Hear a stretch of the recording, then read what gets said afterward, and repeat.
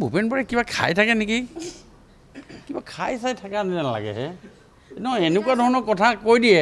তাৰ যাৰ আমাৰ উত্তৰ নাই আৰু আমিও কেতিয়াবা চিন্তাত পৰোঁ। আৰু এইটো কি কথা ক'লে?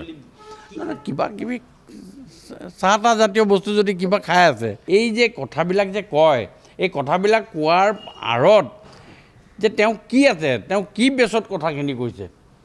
যে খুটা এটা বনাইছে খুটাটোৰ ভিতৰত লোহা আছেনে নাই? নে অকল কংক্ৰিট বালি শিল গুটিয়ে লৈ পেলাই কৰিছে?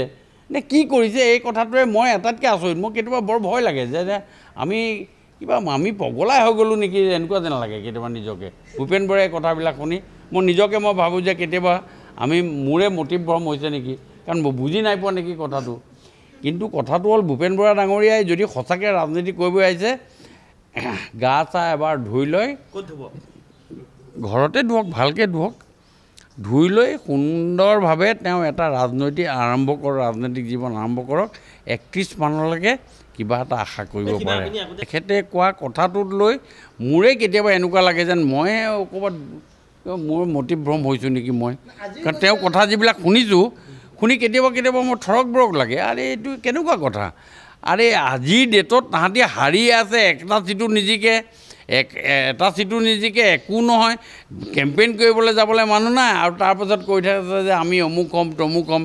এই আলাসত চাং মানে মকৰা জালত চাং পতাৰ নিচিনা হৈছে আকাশতো নহয়। অকল ভূপেন বৰাৰ নিজৰ পোষ্ট অফিচটোৱেই নাই। এতিয়া লোকক এড্ৰেছটো বিচাৰি থাকিলে কেনেকৈ হ'ব? আজিৰ ডেটত ভূপেন বৰাই যিখিনি কথা কৈছে সেইখিনি কিহৰ যুক্তিত কিহৰ ভিত্তিত কৈছে?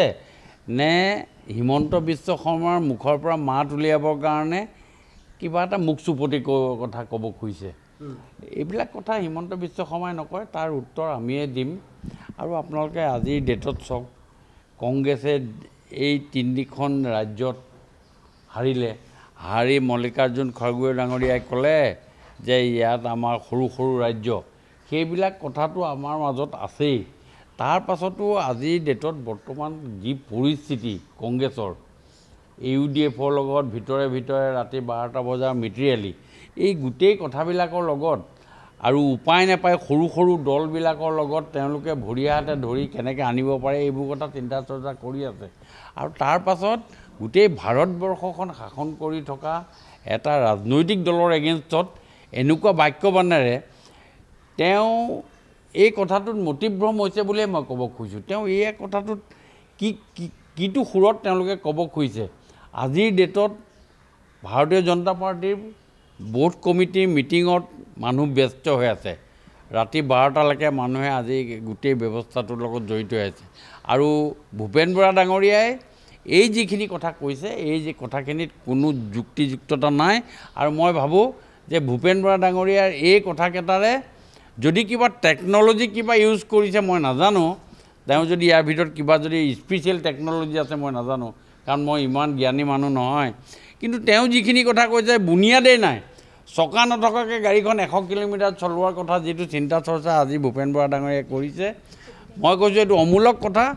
আপুনি এইবিলাক কথা বাদ দিয়ক আপোনালোকে বোট কমিটিলৈ যাওক বোটৰ লগত আপোনালোকে মানুহৰ লগত যোগাযোগ কৰক।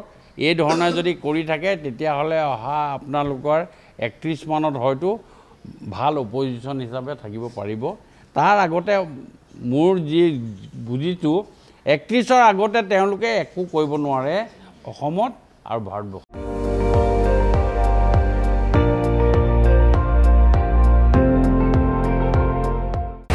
আপুনি চাই আছে এন ডি টুৱেণ্টি ফ'ৰ।